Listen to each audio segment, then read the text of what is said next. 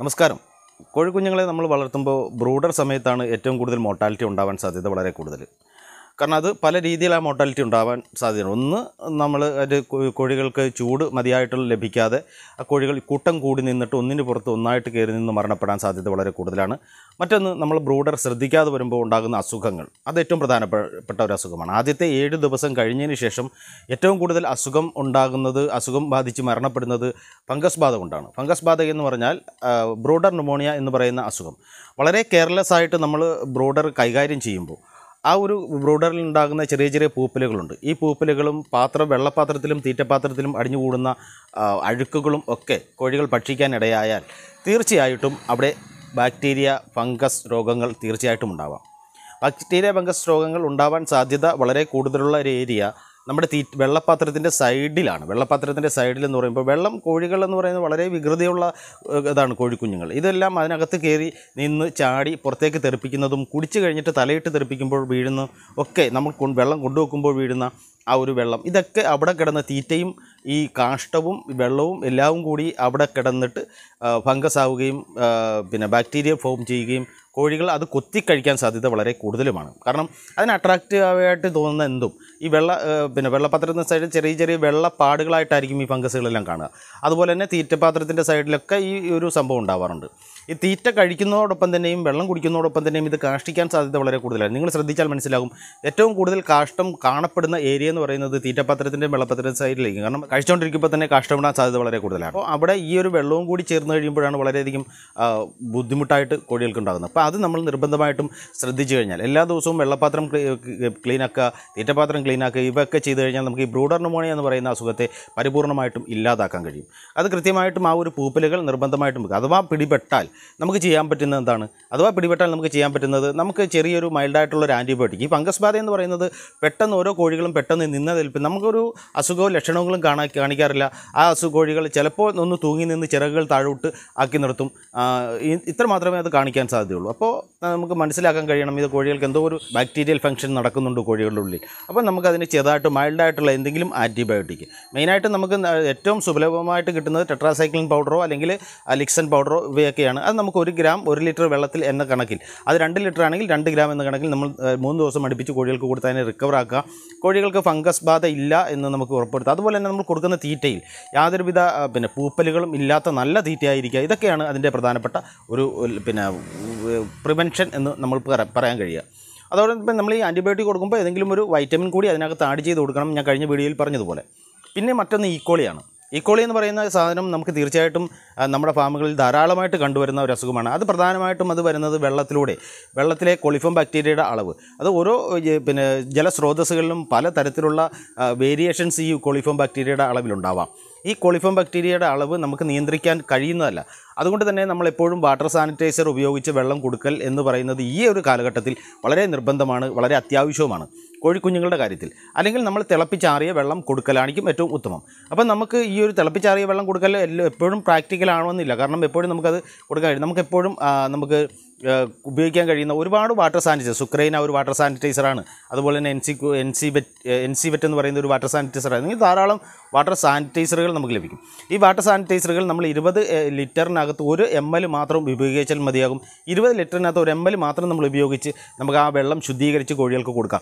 അതിലൂടെ ഈ പിന്നെ കോളിഫോം ബാക്ടീരിയ എന്ന് പറയുന്ന ഈ ഒരു അസു- അസുഖം കോളിഫോം ബാക്ടീരിയ മൂലമുള്ളാകുന്ന ഇക്കോളി പോലെയുള്ള അസുഖങ്ങൾ നമുക്ക് വളരെയധികം റിക്കവറായി ചെയ്യാൻ കഴിയും. ഈക്കോളി വന്നു കഴിഞ്ഞാൽ അതിന് പുറമേ യാതൊരുവിധ ലക്ഷണമോ സിംറ്റംസോ ഒന്നും കാണിക്കില്ല.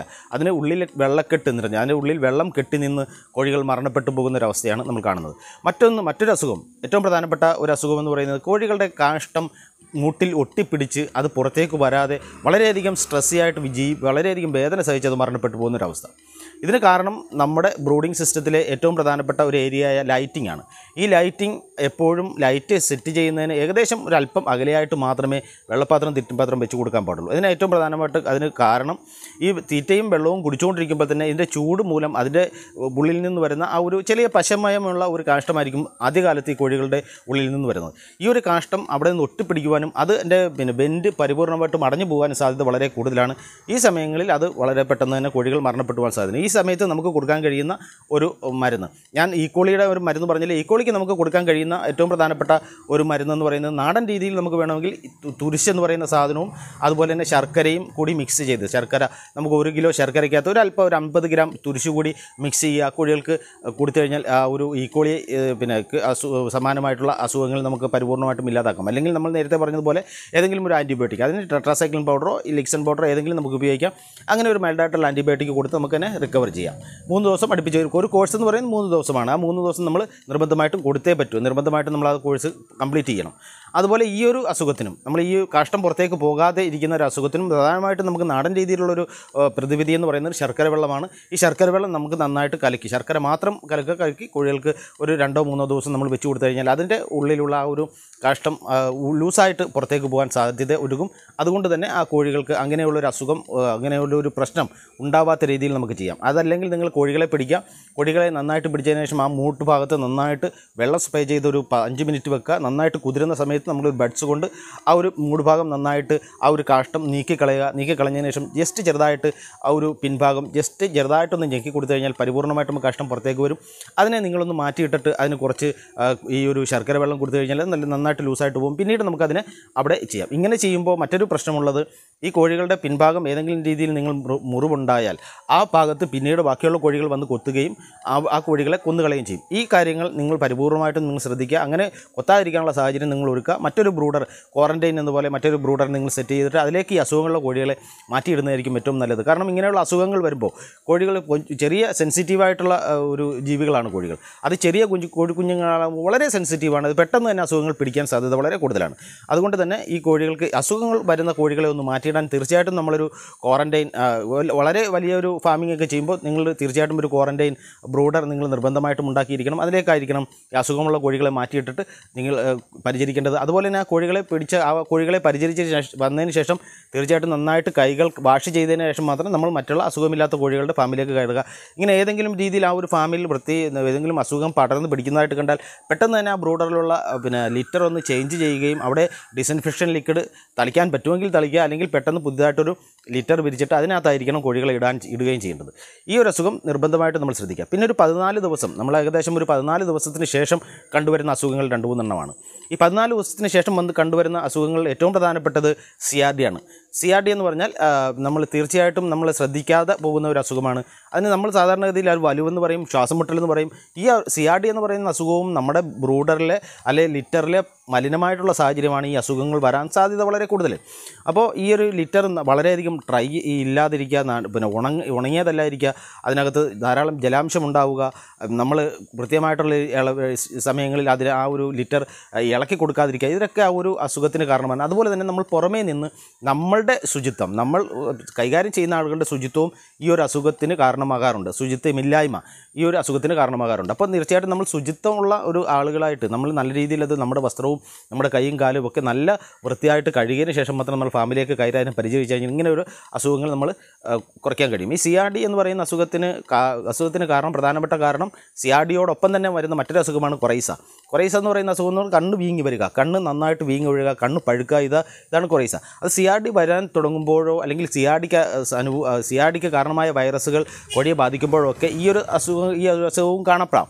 അതിന് കാരണം നമ്മുടെ വൃത്തിഹീനമായ സാഹചര്യം തന്നെയാണ്. ബ്രൂഡറിൽ നമ്മളെ ലിറ്ററിൽ വൃത്തിഹീനമായ സാഹചര്യം. അത് നിർബന്ധമായിട്ട് നിങ്ങൾ വൃത്തി എന്ന് പറയുന്നത് എപ്പോഴും ഒരു ലിറ്ററിൽ അല്ലെങ്കിൽ പിന്നെ നിർബന്ധമായിട്ട് നമ്മൾ കീപ്പ് ചെയ്യേണ്ട ഒരു കാര്യം തന്നെയാണ്. സി ആർ വന്നു കഴിഞ്ഞാൽ തീർച്ചയായിട്ടും നമുക്ക് കൊടുക്കാൻ പറ്റുന്ന മരുന്നെന്ന് പറയുന്ന എൻഡ്രോ എന്ന് പറയുന്ന മരുന്ന് വേണമെങ്കിൽ കൊടുക്കാം. അല്ലെങ്കിൽ മെരിക്യൂൻ എന്ന് പറയുന്ന ആന്റിബയോട്ടിക് നമുക്ക് മൂന്ന് ദിവസം ഒരു മില്ലി മെരിക്യൂൻ എടുക്കുക അതിനകത്ത് ഒരു ലിറ്റർ വെള്ളത്തിനകത്ത്. അത് രണ്ട് ലിറ്റർ ആണെങ്കിൽ രണ്ട് മില്ലി എടുക്കുക. അത് ഹാർഡ് അല്ലാതെ ഒരു സിമ്പിളായിട്ട് ഒരു ഹാർഡ് അല്ലാത്ത ഒരു സിറ്റുവേഷൻ ആണെങ്കിൽ നിങ്ങൾ അങ്ങനെ കൊടുത്താൽ മതി. അല്ല കൂടുതൽ ക്രിട്ടിക്കൽ ആണെങ്കിൽ ഒന്നര എം എൽ വരെ കൊടുക്കേണ്ടി വരും. അത് വളരെയധികം ശ്രദ്ധിച്ചു കൊടുക്കുക. അസുഖമില്ലാത്ത കോഴികൾ ക്കും അസുഖമുള്ള കോഴികൾക്കും ഒരേപോലെ ആ ഒരു കാര്യം ആ ഒരു മരുന്ന് കൊടുക്കൽ നിർബന്ധമാണ്. അതായത് ആ ഫാമിൽ എത്ര കോഴികളുണ്ടോ അത്രയും കോഴികൾക്കും പരിപൂർണമായിട്ടും ഈ ഒരു മരുന്ന് കൊടുക്കൽ നിർബന്ധമാണ്. അതുപോലെ തന്നെ കൊറൈസ. കൊറൈസ എന്ന് പറയുന്ന മരുന്നും അസുഖം വന്നു കഴിഞ്ഞാൽ അതിനുള്ള മരുന്ന് പ്രധാനപ്പെട്ട ഒരു മരുന്നെന്ന് പറഞ്ഞാൽ ഈ ആന്റിബയോട്ടിക് കൊടുക്കുന്നതോടൊപ്പം തന്നെ ആന്റിബയോട്ടിക് നിർബന്ധമായിട്ടും കൊടുക്കണം. അതോടൊപ്പം തന്നെ അതിന്റെ കണ്ണ് നല്ല വൃത്തിയുള്ള നല്ല ശുദ്ധമായിട്ടുള്ള തണുത്ത വെള്ളത്തിൽ കഴുകി അതിനുശേഷം കണ്ണിൽ സിപ്ലോക്സ് എന്ന് പറയുന്ന മെഡിസിൻസ് മെഡിസിൻ വാങ്ങി അതിന്റെ കണ്ണിൽ ഇറ്റിച്ചു കൊടുക്കൽ വളരെ നല്ലതാണ് സിപ്ലോക്സ്. ഈ സിപ്ലോക്സ് എന്ന് പറയുന്ന മരുന്ന് എല്ലാ മെഡിക്കൽ സ്റ്റോറിലും കിട്ടുന്നതാണ്. രണ്ട് തുള്ളി വെച്ചിട്ട് അത് അസുഖം മാറുന്നത് വരെ ഒഴിച്ചു കൊടുക്കുകയും ഈ ഒരു രണ്ട് അസുഖങ്ങളും പകർച്ചവ്യാധിയാണ് പകർന്നു പിടിക്കുന്ന ഒരു അസുഖമാണ്. അതുകൊണ്ട് തന്നെ ഇങ്ങനെയുള്ള ഏതെങ്കിലും ക്രിട്ടിക്കലായിട്ട് ഇങ്ങനെ ഏതെങ്കിലും അസുഖം കാണുന്നുണ്ടെങ്കിൽ അതിനെ മാറ്റിയിടൽ വളരെ നിർബന്ധമാണ്. അല്ലെങ്കിൽ ബാക്കിയുള്ള കോഴികൾ കൂടി ഇത് പകർന്നു പിടിക്കാനുള്ള സാധ്യതയുണ്ട്. അതുപോലെ മറ്റൊരു പ്രധാനപ്പെട്ട അസുഖം വരാൻ സാധ്യതയുള്ളത് നമ്മൾ വാക്സിൻ കൊടുക്കാത്ത കോഴികളാണെങ്കിൽ ഉണ്ടാവാൻ പറ്റുന്ന സാഹചര്യം എന്ന് പറയുന്നത് ഈ ഒരു പതിനാല് ദിവസം കഴിഞ്ഞിട്ടുണ്ടാകുന്നത് കോഴി വസന്ത കോഴി വസന്ത വന്നാൽ തീർച്ചയായിട്ടും നമുക്കതിന് റിക്കവർ ചെയ്യാൻ കഴിയില്ല. അതിന് യാതൊരു ആന്റിബയോട്ടിക് ഏതെങ്കിലും കൊടുക്കാമെന്നല്ലാതെ അതിന് റിക്കവർ ചെയ്യാൻ കഴിയില്ല. അതുപോലെ തന്നെ infectious bursal I B D ഇത് വന്നാലും ബർസൽ എന്ന് പറയുന്നത് അതിന്റെ ബർസ എന്ന് പറയുന്ന ഭാഗം തന്നെ വളരെ നമുക്ക് വളരെയധികം ചിന്തിച്ചാൽ വളരെയധികം അന്തമില്ലാത്തൊരു ഭാഗത്താണ്. അതായത് വാലിന്റെ തുമ്പിലുള്ള ചെറിയൊരു മുഴ പോലെയുള്ള ഒരു ഭാഗമുണ്ട്. അത് ആ ഒരു ഭാഗത്താണ് ഇത് വൈറസ് പിടിപാടുക. ആ ഒരു ഭാഗത്ത് നിന്നും വൈറസ് നേരെ തലച്ചോറിലേക്കാണ് പാസ് ചെയ്യുക. അങ്ങനെ വളരെയധികം ഇൻഫെക്ഷനായി നമുക്ക് പുറമേ നിന്നും ഒന്നും കാണാൻ കഴിയില്ല. ഈ ഒരു പിന്നെ ഇൻഫെഷ്യസ് ബർസൽ എന്ന് പറയുന്ന അസുഖം വന്നു കഴിഞ്ഞാൽ. അതിന്റെ പുറമെ കുറച്ചധികം കഴിയുമ്പോൾ അതിന്റെ വാലിന്റെ ഭാഗത്ത് ചെറിയൊരു മുഴ പോലെ ചെറിയൊരു മുഴ പോലെ വന്നിട്ട് അവിടെ പഴുത്ത് പൊട്ടി എന്നതായിരിക്കും നമുക്ക് കാണാം. അത് വളരെ ക്രിട്ടിക്കലായി രോഗം ക്രിട്ടിക്കലായി കഴിയുമ്പോഴാണ് നമുക്കത് ശ്രദ്ധയിൽപ്പെടുക. അപ്പോൾ നമുക്ക് അങ്ങനെയുള്ള കാര്യങ്ങളൊക്കെ ചെയ്യാൻ വേണ്ടിയിട്ട് ഈ ഒരു പിന്നെ കോഴി വസന്തയ്ക്കും ഇൻഫ്യൂഷ്യസ് ബർസലിനുമുള്ള വാക്സിനുകൾ കൃത്യമായിട്ടുള്ള രീതിയിൽ ചെയ്തു കഴിഞ്ഞാൽ ആ ഒരു പ്രശ്നത്തെ നമുക്ക് റിക്കവർ ചെയ്യാൻ കഴിയും. അതിനൊക്കെയുള്ള മരുന്നെന്ന് പറയുന്നത് ഒരു ആന്റിബയോട്ടിക് മെരിഫോക്സോ അല്ലെങ്കിൽ അങ്ങനെയുള്ള മരുന്നുകളായിരിക്കും അതിന് ഏറ്റവും ഉത്തമം. അതൊക്കെ കൊടുത്തു കഴിഞ്ഞാൽ എത്രത്തോളം സക്സസ് ആകും ഇങ്ങനെയുള്ള അസുഖങ്ങൾ അതായത് ഈ കോഴി വസന്തയും ഐ ബി ഡിയും ഒക്കെ വന്നു കഴിഞ്ഞാൽ എത്രത്തോളം അത് ഫലപ്രദമാകും എന്നൊക്കെ നമുക്ക് പറയാൻ കഴിയില്ല. കാരണം അത്രയ്ക്ക് ക്രിറ്റിക്കലാണെങ്കിൽ കോഴികൾ മൊത്തം ചത്തുപോകാനുള്ള സാധ്യത വളരെ കൂടുതലാണ്. അതുകൊണ്ട് തന്നെ നമ്മൾ വാക്സിൻ നിർബന്ധമായിട്ടും ചെയ്യുക. അപ്പോൾ ഇത്രയുമാണ് നമുക്ക് ഈ ഒരു ഒരു മാസം ഈ ഒരു ഒരു മാസ കാലയളവിനുള്ളിൽ കോഴികൾക്ക് വരാവുന്ന ഏറ്റവും പ്രധാനപ്പെട്ട അസുഖങ്ങൾ. മറ്റൊരു പ്രധാനപ്പെട്ട ഒരു പിന്നെ അവസ്ഥയെന്ന് പറയുന്നത് അസുഖമെന്ന് പറയാൻ കഴിയില്ല. അവസ്ഥയെന്ന് പറയുന്നത് നിർജലീകരണമാണ്. കാരണം കോഴികൾ വന്ന ആ ഒരു സമയത്തും ഒരാഴ്ചയ്ക്കുള്ളിലും ആ ഒരാഴ്ച കഴിഞ്ഞിട്ടുള്ള സമയത്ത് നമുക്ക് കോഴികൾക്ക് നല്ല ഹീറ്റുള്ള സമയത്ത് നല്ല ചൂടുള്ള സമയത്ത് മതിയായിട്ടുള്ള ജലം കോഴികൾക്ക് വെള്ളം കോഴികൾക്ക് കിട്ടുന്നില്ല. അല്ലെങ്കിൽ മതിയായിട്ട് വെള്ളം കുടിക്കുന്നില്ല എന്ന് കരുതുക.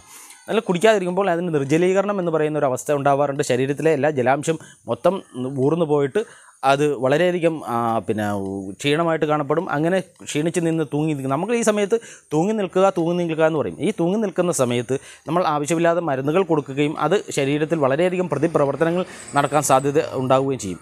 അപ്പോൾ കോഴികൾക്ക് മരുന്ന് കൊടുക്കുന്നത് ഇരട്ടി ഒരു ദോഷമായിട്ട് ഭവിക്കുകയും കോഴികൾ ചത്തുപോവുകയും ചെയ്യുന്ന ഒരു അവസ്ഥയാണ് ഈ നിർജലീകരണത്തിന് കാരണം. നിർജലീകരണം എന്നൊരു അവസ്ഥ കൊണ്ട് ഉണ്ടാകുന്നത്. അപ്പോൾ നിർജലീകരണം ഉണ്ടാവാനുള്ള സാഹചര്യം നമ്മളൊന്ന് ശ്രദ്ധിക്കുക ബ്രോ നമ്മൾ കോഴികളെ അല്ലെങ്കിൽ കോഴികൾക്ക് കൊടുക്കുന്ന വെള്ളം മതിയായിട്ട് കുടിക്കുന്നുണ്ടോ? കൃത്യമായിട്ട് ആ കോഴികൾ കുടിക്കുന്നുണ്ടോ? നല്ല ശുദ്ധമായ വെള്ളമാണോ കോഴികൾ കുടിക്കുന്നത്? ഇതൊക്കെ നമ്മൾ ശ്രദ്ധിച്ചു കഴിഞ്ഞാൽ മതിയായിട്ട് വെള്ളം കുടിക്കുന്നില്ല എങ്കിൽ തീർച്ചയായിട്ടും അതിനെ ഫീഡ് ചെയ്യാനുള്ള ഒരു സാഹചര്യം അതിന് വെള്ളം കുടിക്കാൻ എന്താണ് കുടിക്കാതിരിക്കാൻ എന്താണ് കാരണമെന്ന് നമ്മൾ കണ്ടുപിടിച്ച് അത് പരിഹരിക്കുകയും അഥവാ ഇങ്ങനെ നമുക്ക് കുടിക്കാതെ ഇങ്ങനെ വെള്ളം മതിയായിട്ടുള്ള രീതിയിൽ കുടിക്കാതെ നിർജലീകരണമാണ് എന്ന് നമുക്ക് മനസ്സിലായി കഴിഞ്ഞാൽ അതിന് അതിന്റെ ഒരു ലക്ഷണം എന്ന് പറയുന്നത് നന്നായിട്ട് അത് എവിടെയെങ്കിലും അടങ്ങിയിരിക്കും. അത് നന്നായത് കോഴികൾ മരണപ്പെട്ടു പോകുന്ന കോഴികളെ നിങ്ങളൊന്ന് ശ്രദ്ധിച്ചാൽ മതി. അതിന് യാതൊരുവിധ പിന്നെ ഒരു ജലാംശവും അതിന്റെ ശരീരത്തിലുണ്ടാവില്ല വളരെയധികം ശോഷിച്ച് ക്ഷീണിച്ച് പോകുന്ന ഒരു അവസ്ഥയിലേക്ക് വരും. അതിന് നാടൻ രീതിയിലുള്ള ഒരു മരുന്ന് നാളത്തെ വീഡിയോയിൽ ഞാൻ പറഞ്ഞുതരാം. എന്താണ് അതിനുള്ള ഒരു നാടൻ മരുന്ന്? വളരെ സിമ്പിളായിട്ട് നമുക്ക് കൊടുക്കാൻ പറ്റുന്നൊരു മരുന്നുണ്ട്. അത് നമുക്ക് കൃത്യമായിട്ട് ഉണ്ടാക്കി കൊടുത്താൽ മതിയാകും ഏതായാലും ആ ഒരു വീഡിയോയും കൂടി ഇതിനകത്ത് ഉൾപ്പെടുത്തിയിരുന്നില്ല. അത് നമുക്ക് നാളത്തേക്ക് ഞാൻ ചെയ്ത് കാണിച്ചു തരാം അപ്പോൾ ഇത്രയും കാര്യങ്ങളാണ് നമുക്ക് ഈ ഒരു ഒരു മാസ കാലയളവിൽ കോഴികൾക്ക് വരാൻ പറ്റുന്ന ഏറ്റവും പ്രധാനപ്പെട്ട അസുഖങ്ങൾ.